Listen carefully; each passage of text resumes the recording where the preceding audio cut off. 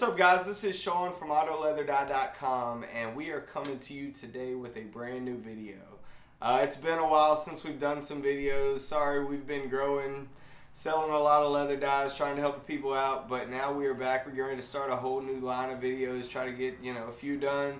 So we've got some new things going on here, man. We have got lights. We have actually got somewhere to spray. Check it out. We even got a banner.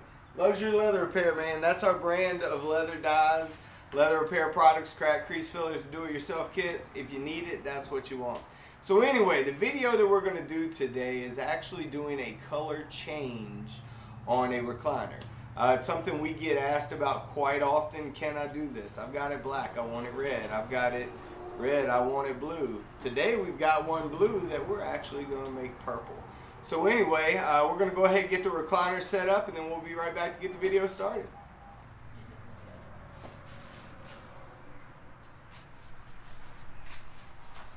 Alright guys, so here is the recliner we're going to be working on. Yep, you see it right. So anyway, so you like it, don't you? I really do as well. So anyway, I found this guy on Facebook Marketplace. I paid $20 for this kids recliner. I have got a five-year-old daughter. She just turned five. Happy birthday. So anyway, I've got a five-year-old daughter. So as you can see, this guy's baby boy blue. I don't have any boys. Mine are all girls. So blue does me no good. So what we're going to do is we're going to take this guy to a purplish color. Actually, a sparkly pearlescent purple color. Um, again, what we're getting ready to do, though, as far as the color, don't worry about what color we have to what we're going to.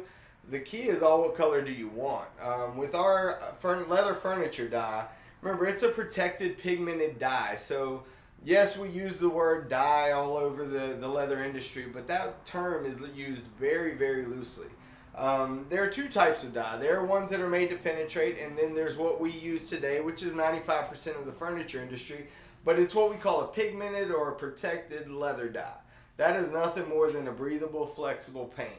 Car seats, 99.9% .9 of them. The furniture industry, over 99, 95% of it um, jackets, boots, you all, all kinds of things, man. That's how they're colored. The big thing is, is what you want to do is make sure you're using a dye that is compatible with your specific leather type.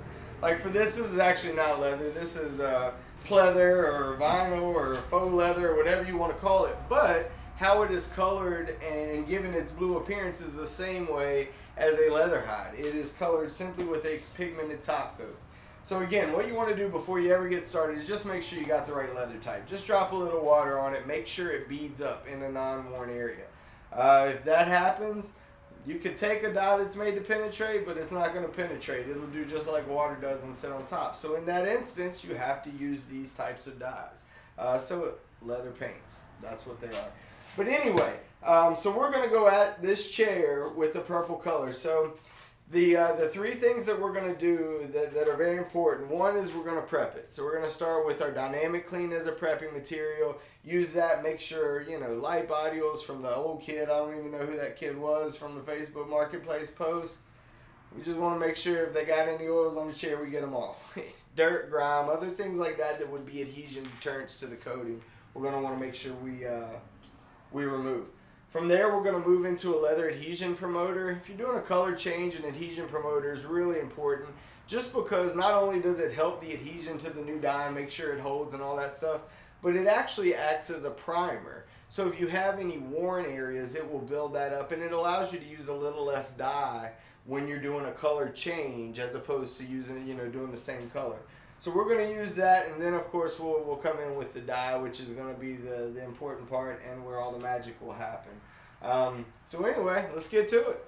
So what we're going to do, we're going to go ahead and get this chair prepped. Uh, so what we're using Dynamic Clean, man, it's just amazing. That's all I'm going to say.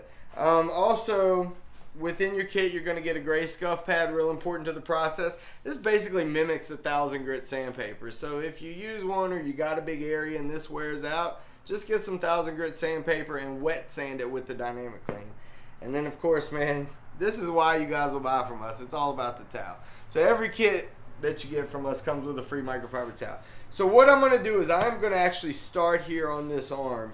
And as I prep, what I like to do is section by section, just because it's key to wipe it off while it's still wet. So I'm just going to take the dynamic clean here. We're just going to spray it over the arm And then we're going to take our scuff pad and just really light pressure, just come in and clean everywhere that you're going to recolor.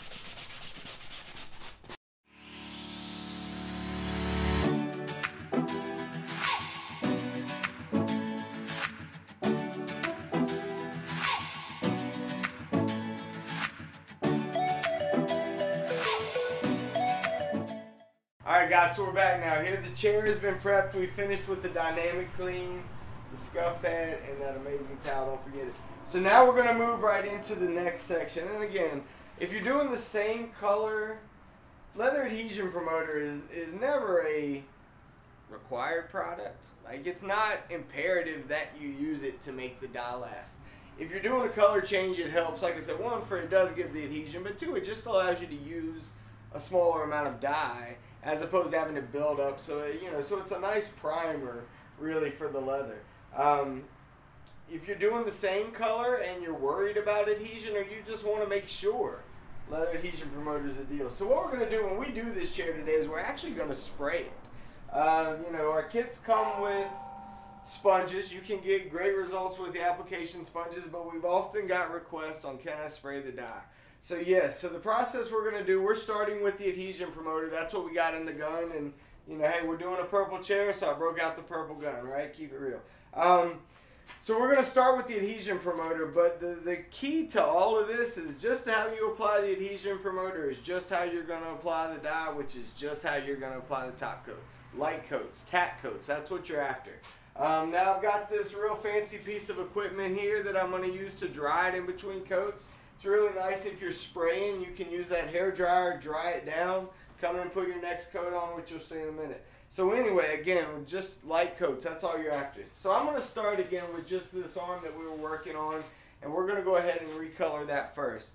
So just taking the adhesion promoter, it's just nice, even, full coverage.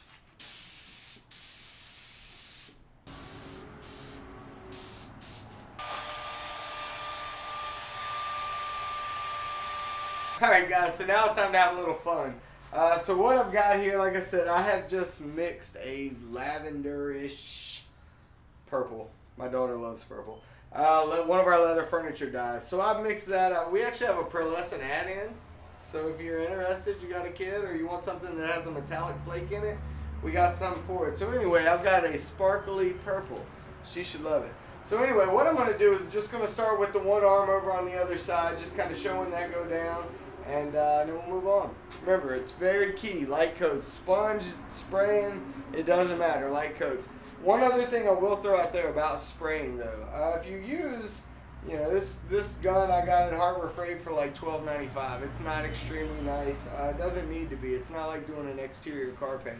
Um, but if you have a smaller airbrush, sometimes depending upon the needle size, if you have trouble getting the dye to go through, a little water is all you need. That's the that's the true indication that you're using a real water-based product. You can thin it with water. Stay away from the solvents, all that kind of stuff. It'll mess your dye up. Uh, plus, it'll save you some money, right? We all got water. So anyway, so I'm just going to start here with this. Same thing as the adhesion promoter. Light coats, right? Just tack coats.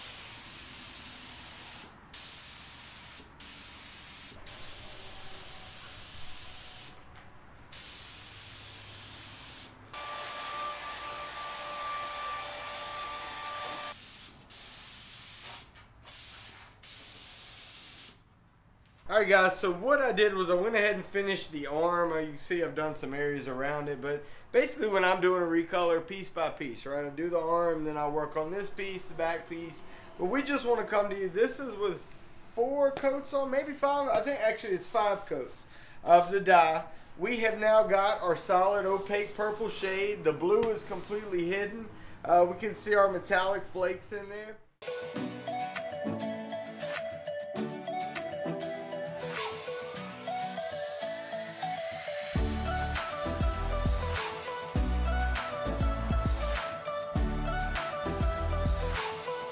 Done.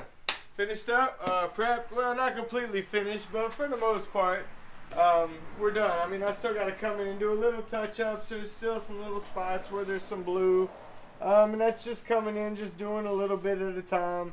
Using my spray gun, spraying it, drying it, spraying it, drying it. But from the overall picture, the uh, the recliner. I think we're gonna call this frosted purple.